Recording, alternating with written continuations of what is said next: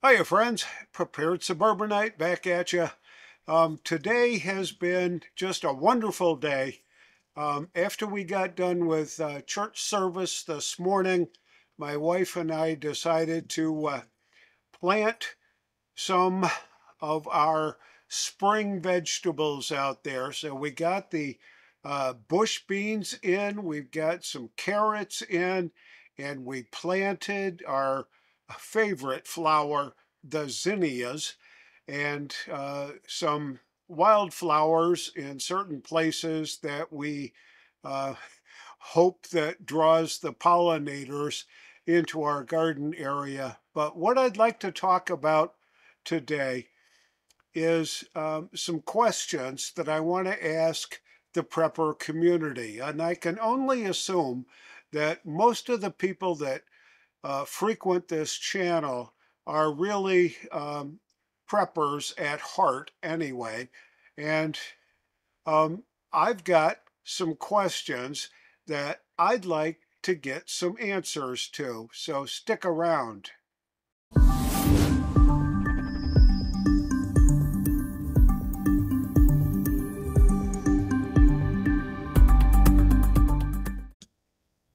With that said, here we go.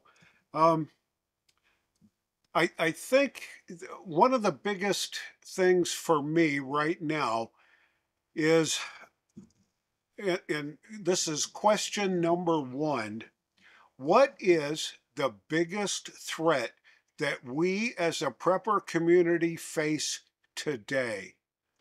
Now, I've got my thoughts on what that threat is or those threats are, and uh, I'll be sharing my thoughts on all three of the questions that I've got in my next video. Those will be my thoughts, but I'd like to hear what you all have to say. So, question number one What is the biggest threat that we as a prepper community face today?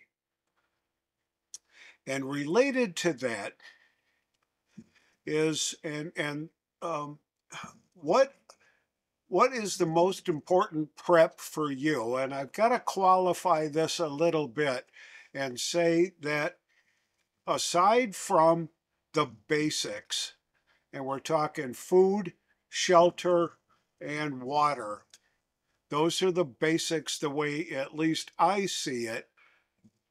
What is the next most important prep for you? And what are you engaged in right now to achieve that prepping goal? So that was question number two. Question number three comes up right now. How would you rate yourself on a scale of preparedness? If you can remember uh, back a few years ago, the History Channel used to run uh, uh, the uh, crazy prepper thing, and they'd have a group of folks that were supposedly experts in preparedness that would rate each individual uh, or, or group on a scale that they would uh, um, be able to survive, and they gave them certain points for this and that. But I don't want to get into that level of detail. But how would you rate yourself? Are you a beginner prepper? And you can define that any way you want. If you're just getting started, you may consider you're a, uh, yourself a beginner in uh, the scale of prepping. And I don't know what that means for you. I think it's all relative. So then you go from beginner to intermediate. Well, what does intermediate prepping, uh, being prepared, the level of preparedness, what does that mean to you? And are you there yet? and what do you need to do to get there?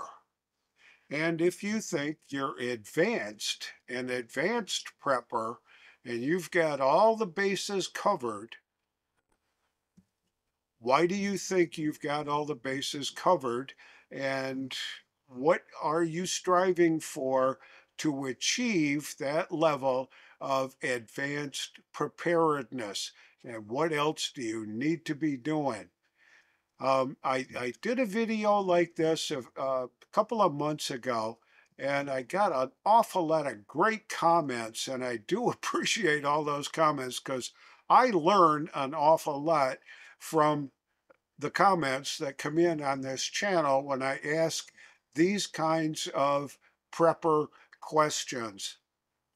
And I think the folks that would be inclined to view this um, kind of video would also learn from your experiences being um, in the prepper community, being involved as a prepper.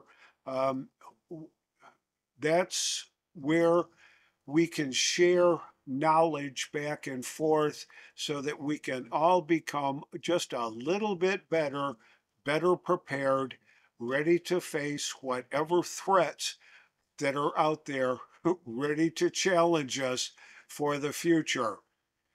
If you found anything in this video, any of the questions or any of the comments helpful, please let me know by giving us a thumbs up and share this video where you can and make sure you're subscribed. This is the Prepared Suburbanite reminding you to be prepared always and I'll see you all on the next video.